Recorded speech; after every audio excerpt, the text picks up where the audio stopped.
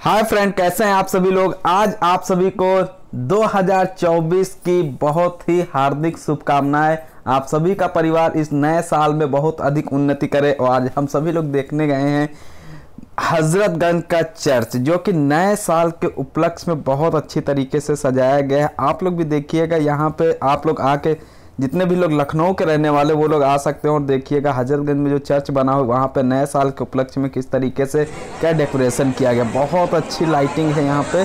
आप लोग देखिए भीड़ भी बहुत लग, लगी हुई है जिसमें सभी लोग देखने के लिए आए हुए हैं। आज हम लोग शाम को आए हैं। कल आप लोग नए साल के मॉर्निंग में भी आ सकते हैं इवनिंग में भी आ सकते हैं।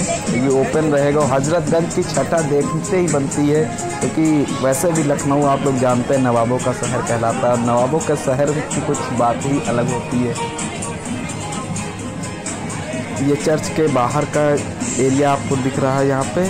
चर्च के बाहर जहाँ से सभी लोग एंट्री कर रहे हैं। एंट्री गेट के बाहर से आप लोग जैसे ही अंदर की ओर थोड़ा सा बढ़ते हैं, उस साइड का ये एरिया है, देखिएगा। हाँ जी। हाँ सेल्फी पॉइंट्स भी यहाँ पे बने हुए हैं। कई सेल्फी पॉइंट्स हैं। यहाँ पे आप लोग अपनी सेल्फी अभी खींच सकते हो। वैसे कहीं भी आप खड़े होकर अपनी सेल्फी ले सकते हैं। बहुत अच्छा डेकोरेशन किया गया है। हाँ रात में आएँगे तो ज़्यादा अच्छा लगेगा। बाकी दिन में भी आपको अच्छा लगेगा, लेकिन रात में जो लाइटिंग होती है लाइटिंग में बहुत अच्छा लगेगा। और ये अभी आप लोग देखिएगा, दिन का थोड़ा सा ये दिन का है। ये इवनिंग टाइम जो दिन था, उस टाइम का है। हाँ उससे बाहर आप लोग देखिएगा ये दिन में जब हम लोग पहुँचे थे उस टाइम का वो अभी आप लोग जो देखे थे वो रात का था। और ये यहाँ पे ये पूरा अं, अंदर जो पुराना वाला चर्च बना हुआ है वहाँ का आप लोग देख रहे हैं। बहुत मज़ा आया बहुत इन्जॉय किया सभी लोगों ने।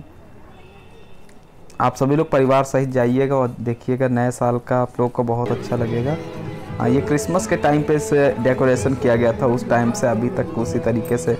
और वैसे भी आप जानते हैं लखनऊ हाईटेक सिटी बन चुका है और यहाँ पे अब तो आने वाले समय में और भी ज़्यादा हाईटेक हो जाएगा। हाँ ये आप देखिए।